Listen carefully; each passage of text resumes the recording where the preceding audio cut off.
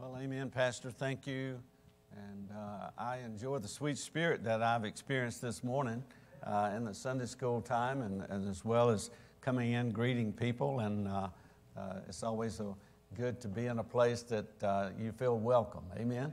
And uh, what we'll do this morning, right away, for the sake of time, we'll give a quick shot of video so that you can see that. And what it does, it covers uh, the countries that we're working in. Uh, we do not do a, not a lot of detail because a lot of pastors, Brother Coley is not one of them, but uh, a lot of pastors don't want you to take up a lot of time with a video, and so they want you to keep it to seven minutes or six or so. This one goes, I think, nine something.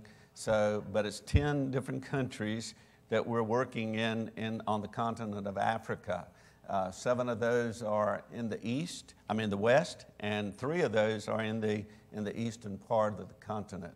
So uh, we do uh, not only prison work, this year we're celebrating 45 years of prison work, uh, and we're in all 50 states, we're in 22 countries around the world.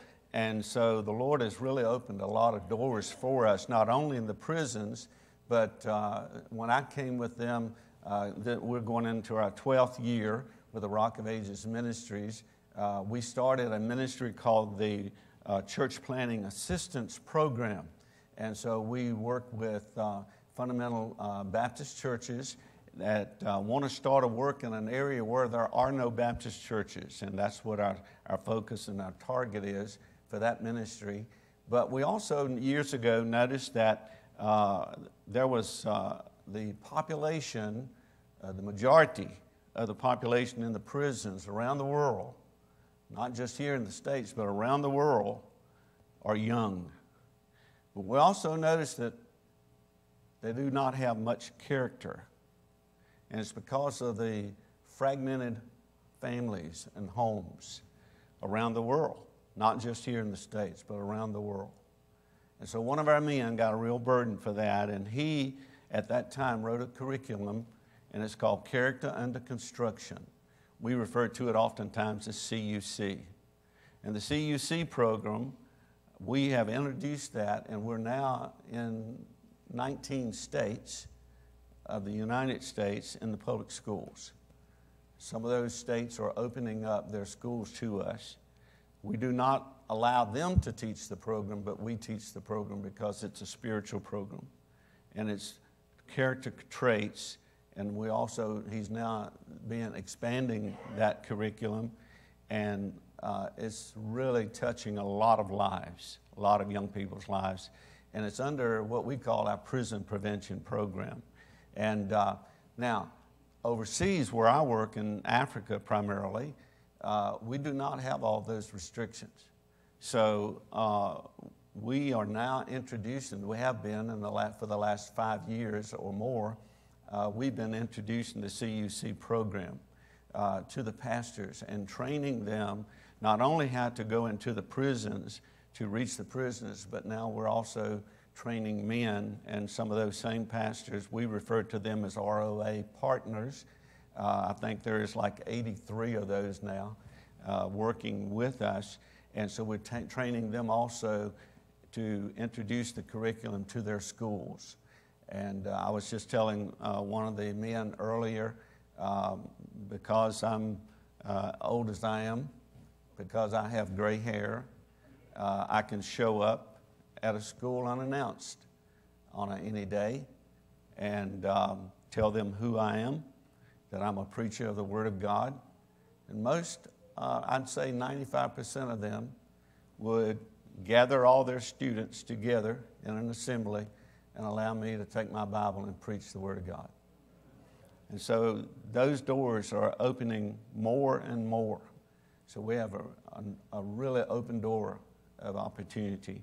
So I'll just kind of give you a glimpse of the 10. Now I want to share a little bit with you with Sierra Leone this morning before I preach and the progress that we're seeing there, and that's the, that ministry that you're part of.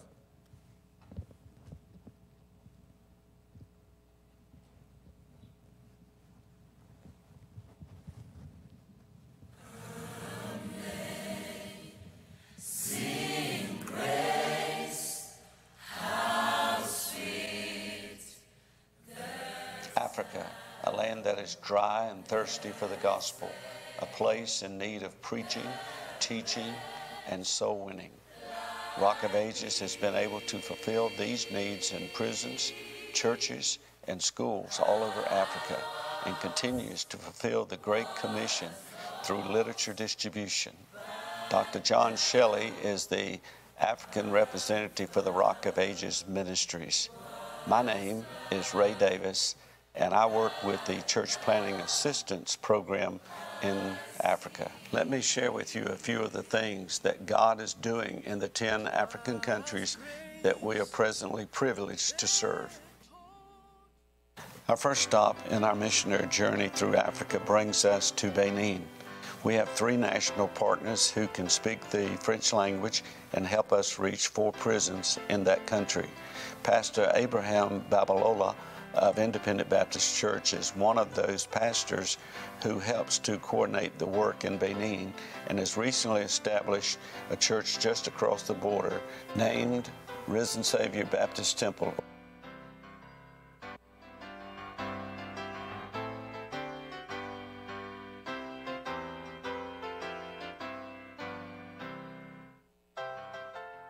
The next country on our journey is Nigeria.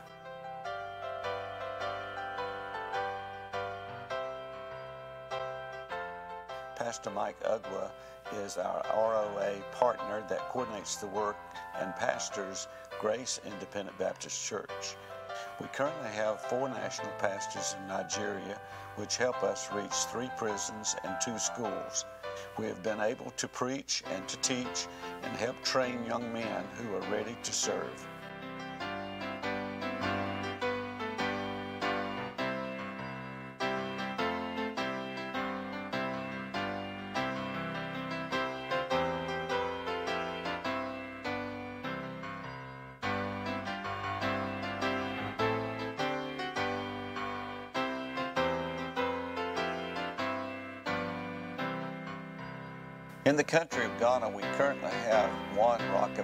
National missionary and seven national partners, reaching 24 prisons and over 15 schools, preaching and teaching the Rock of Ages character and construction curriculum.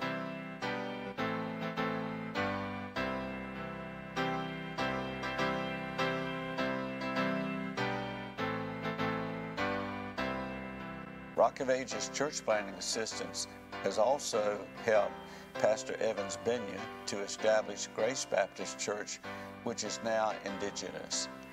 Ghana has been an open door for literature distribution, which is extremely helpful to our prison prevention missionaries, Jeff Bellamy and Walter Turrell.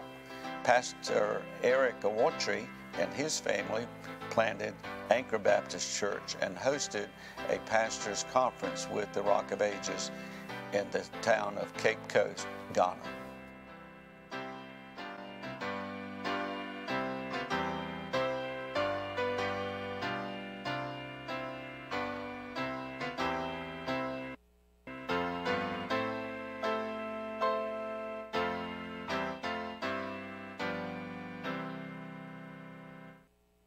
As we travel to East Africa, we arrive in the country of Kenya. Because of its geographical size, the ROA ministry is separated into East and West. Kenya's national language is English and Swahili. We presently work with 12 ROA partners, which are led by Pastor John Omasari in the East and Pastor Wilson Sambu in the West. Kenya ROA ministry is reaching 25 prisons of the 105 in the country and also teaching the ROA character under construction curriculum in 20 schools. The Lord has also allowed us to assist a new church plant in Nairobi. Through the help of churches in America, we have shipped two scripture containers to Kenya, which have been distributed in the country of Kenya, Uganda, and South Sudan.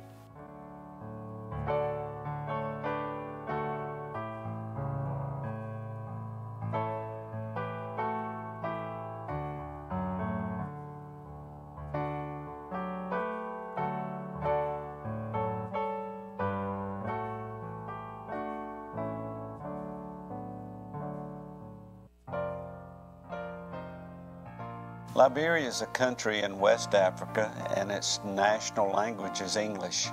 Rock of Ages works closely with Pastor George Minion, who oversees the ministry of 10 national partners throughout Liberia. They are reaching 19 prisons of the 19 in the country. The Rock of Ages Ministries recently began assisting Pastor Erasco Doma with the planning of Biblical Baptist Church in Sanniquellie. Also in recent years, ROA has shipped two scripture containers for distribution in Liberia, Sierra Leone, Guinea, and the country of Ivory Coast.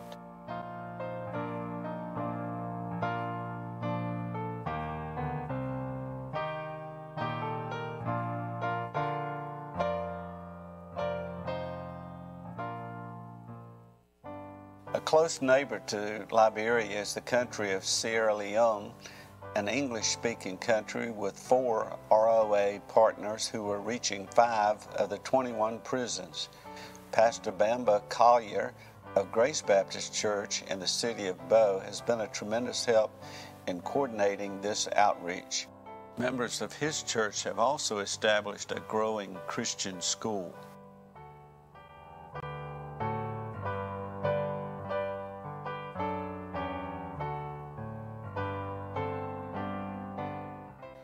Of Ages Church Planting Assistance is thankful for the opportunity to work with Pastor John Flomo and his wife Esther in starting Kenema Baptist Church in Kenema, Sierra Leone.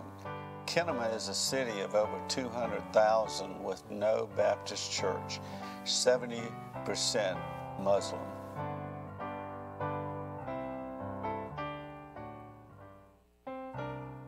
Country of Togo is located in West Africa and its national language is French.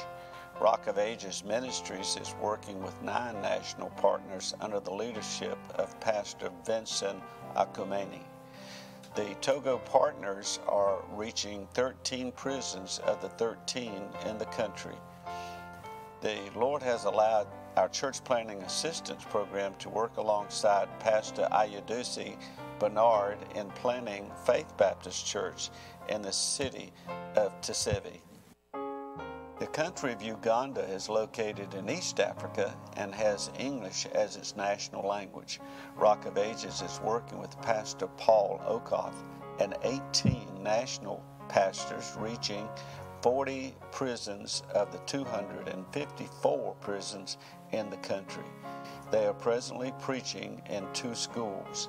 The Rock of Ages Church Planting Assistance Program is assisting Pastor Lawrence Okecho in the planning of Faith Baptist Church in Butaleja and Pastor Raymond Okeror at the Liberty Baptist Church in Soweto.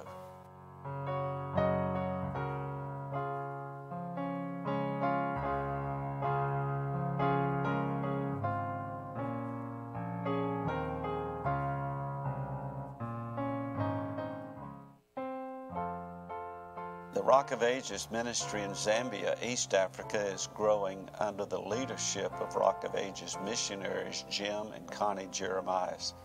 Also, Zambia has a national Rock of Ages missionaries, Cephas and Cynthia Muleshu. There are three national partners there reaching seven of the 90 prisons in Zambia and preaching in two schools.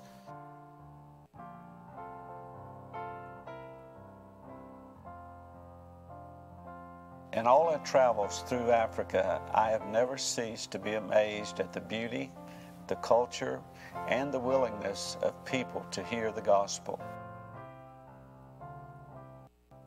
Truly, Africa is a field white unto harvest, and we are blessed to serve God in His fields. Please pray for Rock of Ages as we endeavor to fulfill God's will and win lost souls to Him.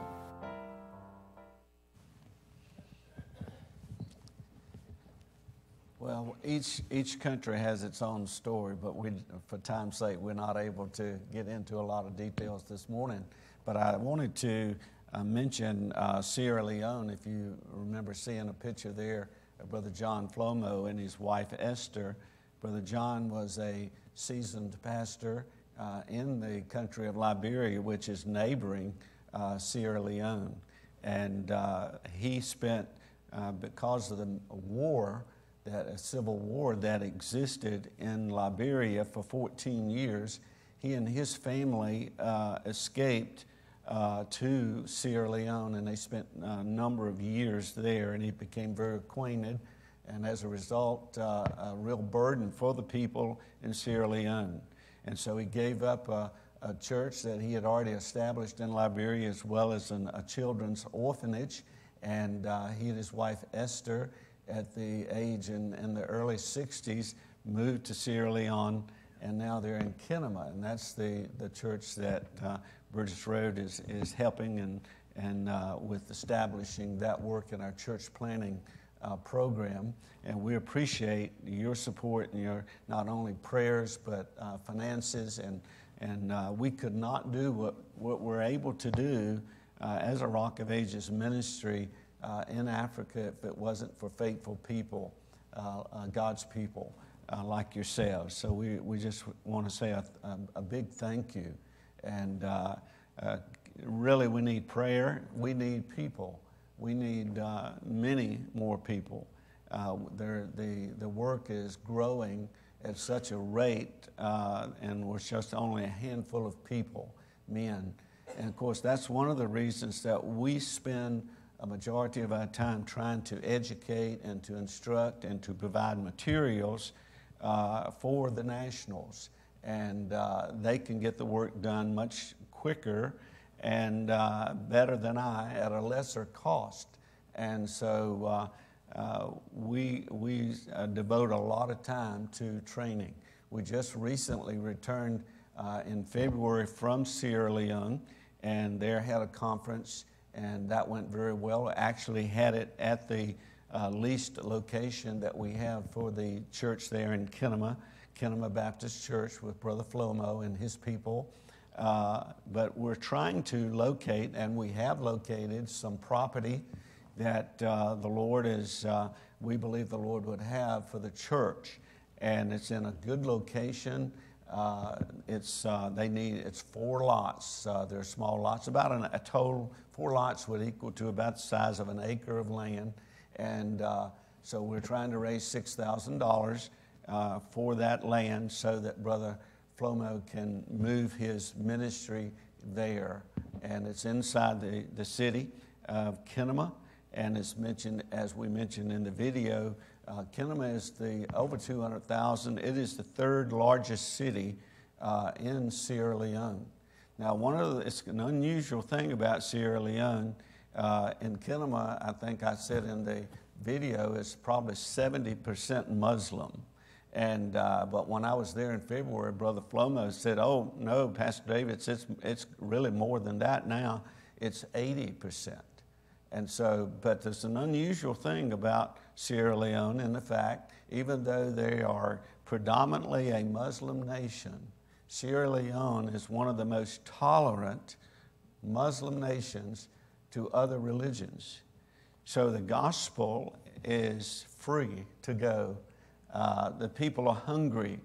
Islam is not meeting that need that God has placed in our hearts to know Him. And um, so the Lord is uh, uh, working there and opening doors for us to be able to reach uh, the Muslim people. I've led a number, I've led more Muslims to the Lord in Sierra Leone than I have anywhere else in Africa. And I run into Muslims on a regular basis. But there, many of them I know are reading the Bible because immediately upon beginning a conversation with you, they start asking you Bible questions. And so they're not supposed to have a Bible uh, according to their, their faith. But uh, uh, anyway, uh, please pray about this special need that Brother Flomo has regarding the land and the purchase of that land, and we're hoping to, to uh, introduce that to others that may, the Lord may impress upon their heart to have a part uh, in that. Um, also, I think I said in the presentation, the statistics are changing so fast, it's hard to keep the presentation up to date with the things that God is doing in recent days. And uh, I think uh, maybe in the presentation you said we, had, we were working with like 70 some. But now that number, when we were in uh, Ghana in, in just uh, April, the month of April, uh, we held a conference up north. We were reaching uh, 22 of the, 20, of the 44 prisons in all of the country. But now they've built three new prisons, so now it's a total of 47. But this last uh, trip that we had, we went up north and we uh, went to the area, the northeast, and we had a conference with men that we have con- made contact with, and we've now added another director for the north, and we added, uh, I think it's another 12 men uh, that are partnering with us and went through training with us, not only to reach the prisons, but also to reach into the schools. So I think that number has jumped to 83. We're now uh, waiting for the final uh, authorization. We had authority to go into 22 of the prisons, and now we have, we're getting authority to go into 43 of those uh, 47 uh, prisons. And, and the school ministry is also growing. And uh, I could just go on and on. I could spend my entire time this morning telling you what the Lord is doing. And uh, I wished I could be more uh, more transparent uh, in, the, in the video. Uh, but uh, God is at work. God is at work. God is not dead. Turn your Bibles this morning. Did I get my Oh, okay.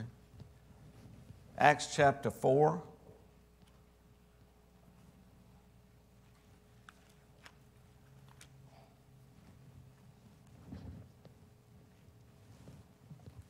Acts chapter 4.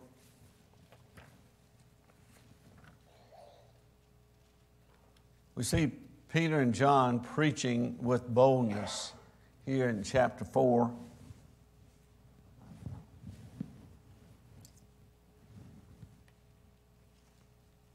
I want to honor your time this morning. But let's begin reading well, for, for time's sake, we'll, we'll read some of these other verses. For time's sake, here's the key verse. Here's the, here's the central text this morning. It's found in verse 12. It says, Neither is there salvation in any other, for there's none other name under heaven given among men whereby we must be saved. Let's pray. Father, help us. Lord, give us the words to say, to communicate what ought to be said. Lord, help us to have hearts that are open to the teaching of your word. Blessed Holy Spirit, work as only you can work. Give me the words to say. Fill me with thy spirit. Control that which I think and also speak this morning. We thank you for this church. We thank you for this dear pastor and friend for so many years. Lord, I just pray you continue to use them as a lighthouse around the world of the glorious gospel of Jesus Christ. Lord, bless this time now. We pray in Jesus' name. Amen. Uh, the facts here before us is that Satan opposes God's people when God is at work through them. And of course, uh, we don't like to dwell on the negative things, but there's opposition when we do the work that we're doing uh, each and every day. And uh, the principle that is found in this passage is to remember that although the, the world may, may come against us when serving Christ, the Lord was, is always there to protect us. And the Lord is always there to provide us. I was telling the brother coming in to the service this morning that uh, uh, I'm, I'm a firm believer in what God uh, directs, He also provides and uh, whether that means providing protection, uh, finances, good health, uh, uh, just any just the natural daily things that we need. If we're in the will of God, doing what God wants us to do, then God is, is going to take care of us and be there with us. We've gone through here in America now, we think we've really suffered uh, because of this COVID stuff that's been going on for the last three years. It's, it's been crazy. Amen? Can I get an amen right there? Uh, it's just a crazy thing that's been going on around the world. But let me tell you, we're not suffering. Come and go with me, and you'll see some suffering. I'm afraid that we as Americans, and we're blessed of God, and I love my country. Every time I come, about the two days before I know it's the date I'm supposed to be coming back to the U.S., I start getting this feeling inside. I know I'm going home. But this is really not my home. And I'm praying more and more, even so, come Lord Jesus, because I'm ready to go to our heavenly home. We're not, we're not citizens here, we're citizens there. But we, we need to understand that God's in control and God is watching over us. And we can depend on Him when we can't depend on one another, can't depend on ourselves, can't depend on the government, certainly not the government. But we can depend on God. And that's who our, our faith and our trust must be in. Now, here we see the lesson to learn here is to trust the Lord to hold us up when the enemy is attacking. Now, notice what happens here. Uh, in order to, in verse 6, uh, uh, here in, in chapter 4, it says, and, uh, and Annas the high priest, and Caiaphas, and John, and Alexander, and as many as were of the kindred of the high priest, were gathered together at Jerusalem. And when they had set them in the midst, they asked, By what power or by what name have you done this? Well, you won't understand, you'll not understand this if you don't go back and look at chapter 3. So you need to understand the, the context of what has taken place. The occasion here is a short time after Pentecost, and, and, the, new, and the new church is growing very rapidly. And one afternoon, uh, over there in, in chapter 3, Peter and John, as was customary, went to the temple during the, uh, the hour of prayer. And in verse 2, it says the ninth hour. That's like 3 p.m. in the afternoon. And uh, uh, as they passed by the gate of the temple, the, the gate that was referred to as beautiful, there lay a, a lame man here from birth who was carried daily to the gate and he began to he was there to beg alms by the people that were entering into the temple but instead of money Peter commanded the man in the name of Jesus of Nazareth to stand up and walk. That was an unusual thing, a response to the man who's, who's begging. So Peter took the man by his right hand, it says in verse 7, and immediately his feet and his ankle bones received strength. Verse 8 says, And he leaping up stood and walked and began praising God. This man is changed because he had faith. He exercised the faith as Peter here talked to him about a man called Jesus of Nazareth. Now, all the people in verse 10 saw him walking and praising God, and they recognized right away who he was. Hey, that's the beggar. That's the guy that they lay at the gate every, every day. But wait, it didn't stop there. God's plans were bigger uh, Peter realized an opportunity to do something here. Look at verse 12.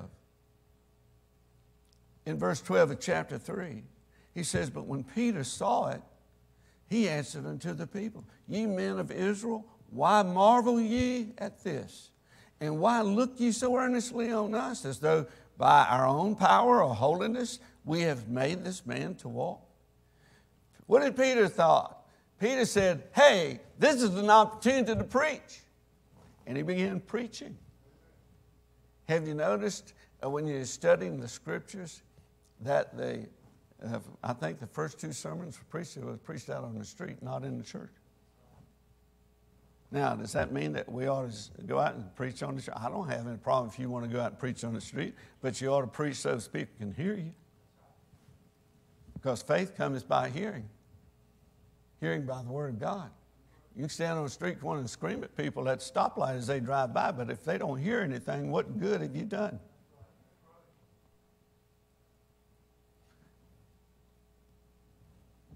We need, I think what, is, what the emphasis here is, is to preach the Word of God wherever you are, at every opportunity. Are we doing that? Are you doing that? Am I doing that? Are you carrying gospel tracts with you? I know you ladies carry a lot of things in those pocketbooks. My mother, bless her heart, she's with the Lord now. She was down in Mexico and, and uh, we were on a mission trip, Brother Cooley. And we was with uh, a missionary down there, and we, we carried the church group down there. And uh, we were out soul winning, passing out John and Romans. And uh, the missionary was with us said, Oh, Brother Dave, my, my ankle's itching. I wish I had some rubbing alcohol.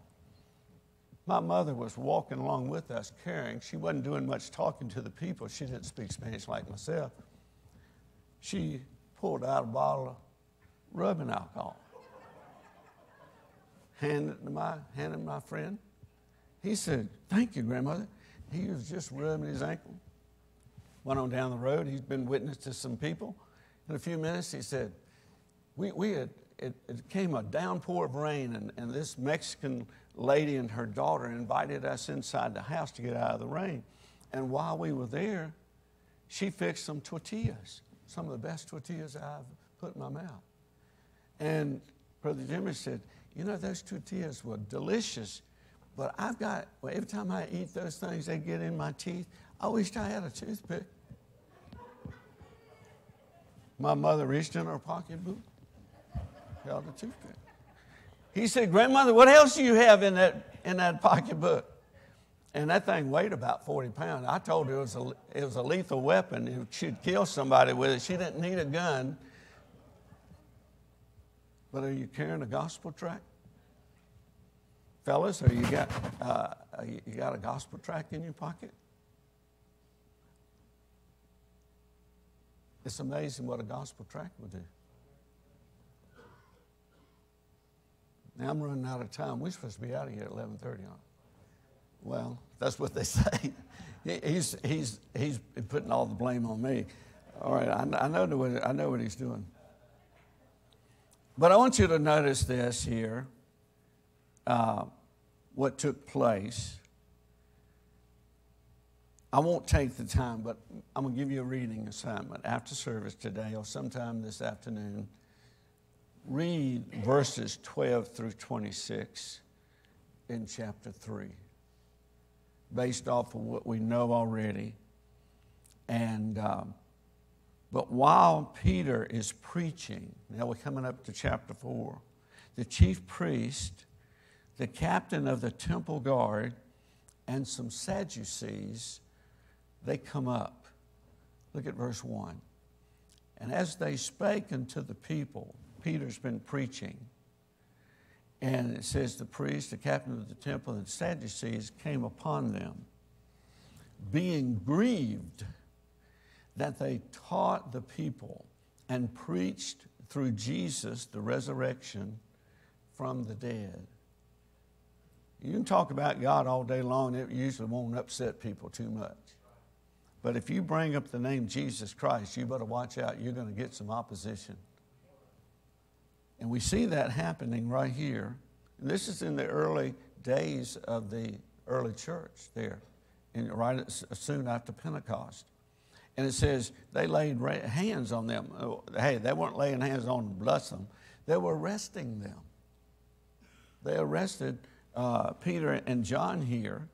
And uh, it says that they were put them in hold until the next day, and uh, it was now even tide. So it's been two or three hours uh, since the three o'clock time that they were going in for prayer. So it's becoming in the evening time. But notice verse 4 Howbeit, many of them which heard the word believed. That's how you get saved. That's how you're born again into the family of God. You don't hear the Word of God, you don't get saved. When the Word of God is given in any form, the Spirit of God takes the Word of God and does a work of God. A work that you and I cannot do. The Word of God is powerful. The Word of God will change a life. I'm living proof. I made a profession of faith when I was a teenager. Went to the altar, the lay preacher that was preaching that day came down and knelt with me and prayed with me. He did not show me one thing from the scriptures. He took me down to a little creek nearby the next week, got me wet, called it baptism. Nothing changed. I went right on living the same life that I'd lived up until that point in my life.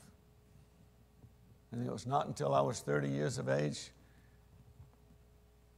and I won't go into the story in itself, but God led my family to a church, and I heard the glorious gospel, the death, burial, and resurrection of Jesus Christ for the very first time that I understood it.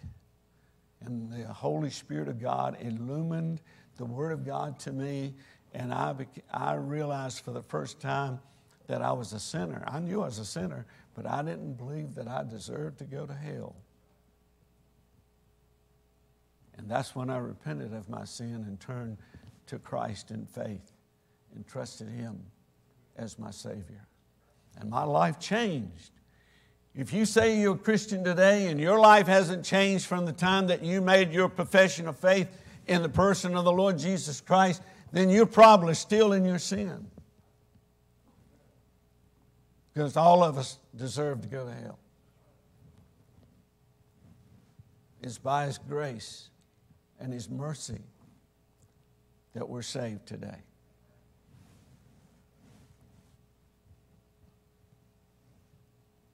Here we see in, in verse, um, it says here in verse 7 and when they had set them in the midst, they asked, By what power or what name have you done this? Then Peter, filled with the Holy Ghost, said unto them, Ye rulers of the people and elders of Israel, if we this day be examined, be examined of the good deed done to the impotent man, by what means he is made whole, be it known unto you all and to all the people of Israel, that by the name of Jesus Christ of Nazareth, whom ye crucified, whom God raised from the dead, even by him doth this man stand here before you whole. This is the stone. And here's a quotation that he uses from Isaiah 28, verse 16. And Jesus himself also refers to this same scripture in Matthew 21 and verse 42. Says, Neither is there, verse 12, is there salvation in any other, for there is none other name under heaven given among men whereby we must be saved. Peter just took the opportunity here to share the gospel. He and John. And we see them doing this time and time again. God will give us opportunities to share His word, to share the gospel. We should even pray as we begin our day, we should ask for the filling of the Holy Spirit of God. We should ask that He would guide us and give us contact and give us opportunities to witness or to share our faith, whether it be by a track or whether it be by a personal witness. It might be that you can be a witness by just the life that you live before others that are in contact with you. Maybe on the job, maybe at school. But always be aware that there are people that God has put in your path that He wants you to share the gospel with. I don't think we do enough of that. I think we need to be more conscious. I tell folks I think we need to practice the presence of God. He's here right now. He's here in me. He's here in you if you're born again. He's right here. He's not some faraway granddaddy figure sitting on the cloud floating around. That's the world's idea of God. God is real. He's alive.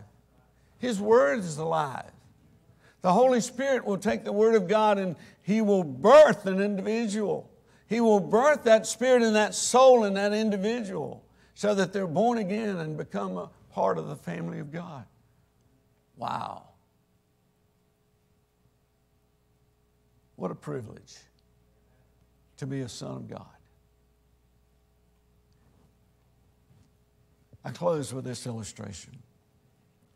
And you need, you need to read the rest of this chapter. I'll not, I'll not uh, spend a time uh, expounding this, but read it. Read it with a fresh outlook and the things that we've been talking about. On my way to Sierra Leone,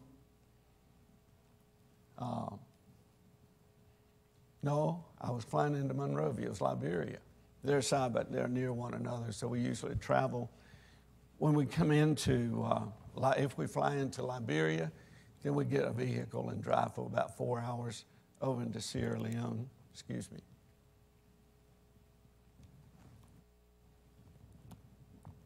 That day, as I was on the flight going from Europe into Monrovia, uh, the Lord put a young uh, Liberian girl next to me in the seat. She was uh, sitting on the side, and we'd been in flight for some time. I handed her a gospel tract. That gospel tract that we use, I've, I've handed out thousands of them. Says on the front of it, has a big finger. It's pointing down at a guy looking up. And it says, One day you will stand before God. That's the true statement. It's appointed unto man once to die. Hebrews 9 27. So that means each of us has an appointment with God, and you're going to keep it. But you don't make the appointment, He does. So, anyway, she looked at it put it in her purse. And I said, okay. So we went on in the flight, and about an hour later, she reached in her purse and pulled that track out, and she began reading it. And then she turned to me and started asking me questions. And I shared the gospel with her. Long story short, she trusted Christ as her Savior right there on the plane. She had been carried from Liberia as a child when she was 10 years old by her parents. She's living in Iowa. She had to come all the way to Iowa, the United States, to hear the gospel. She didn't hear it. She was there for 10 years. And she's headed back to visit her family that she hasn't seen in 10 years as a child.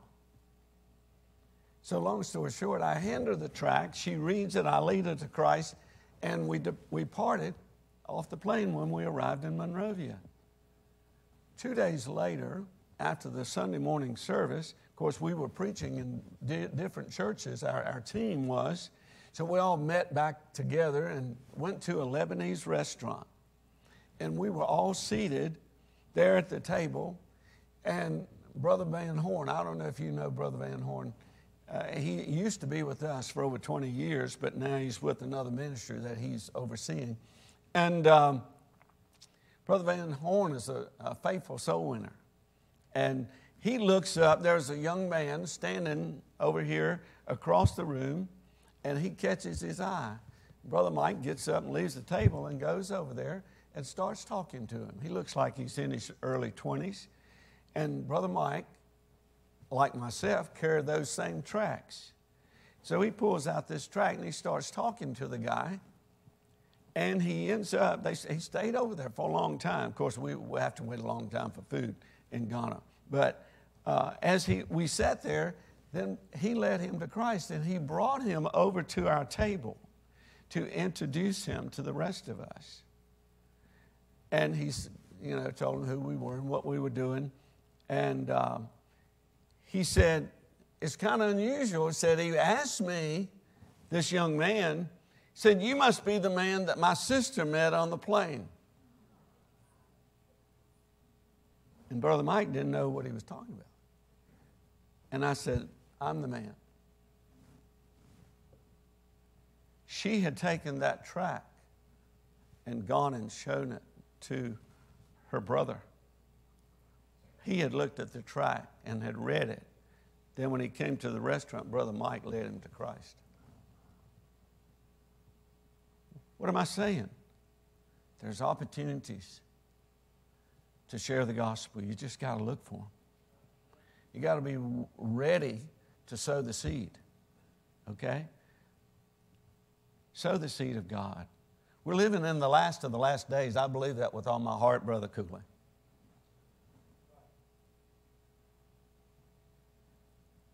I believe that.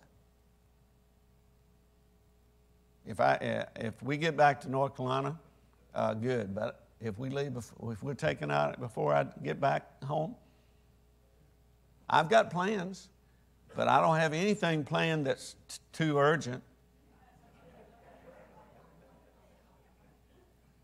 So it's nothing, there's nothing wrong with planning.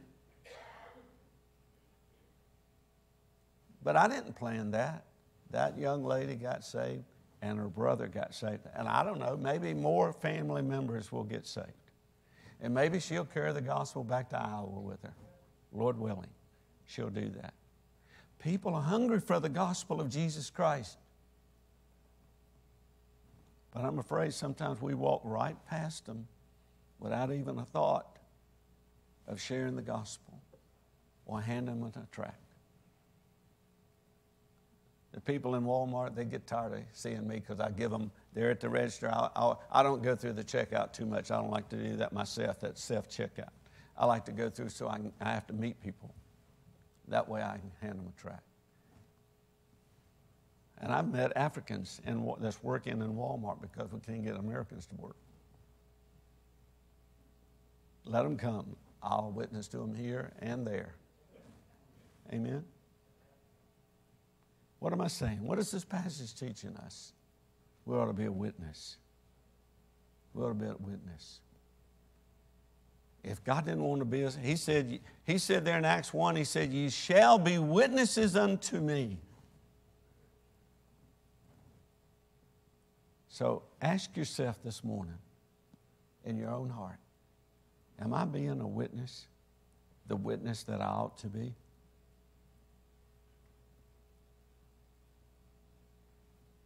Ask yourself that this morning. Let's head, uh, stand to our feet with heads bowed and eyes closed.